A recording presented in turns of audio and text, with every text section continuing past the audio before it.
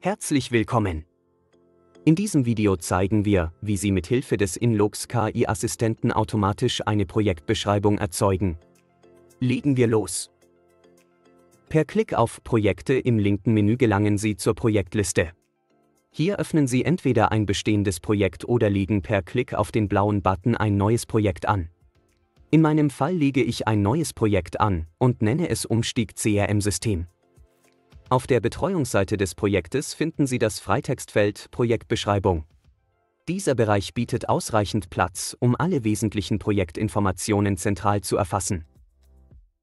Die Projektbeschreibung können Sie natürlich manuell ausfüllen oder sich jedoch Unterstützung vom Inlux KI-Assistent holen und eine automatisierte Beschreibung generieren. Klicken Sie dafür auf den Zauberstab und anschließend auf den blauen Button Projektbeschreibung generieren. Die KI schlägt nun basierend auf dem Projektnamen einen Text vor, welcher zum Projekt passen könnte.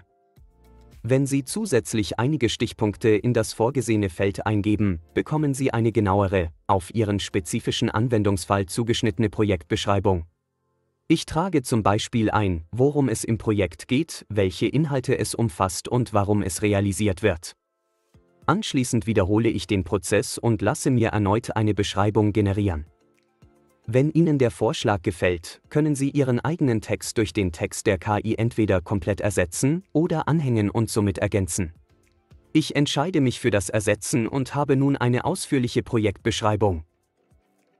Inlux bietet noch mehr Funktionen, welche ebenfalls auf künstlicher Intelligenz basieren. Alle News finden Sie wie immer auf unserer Website.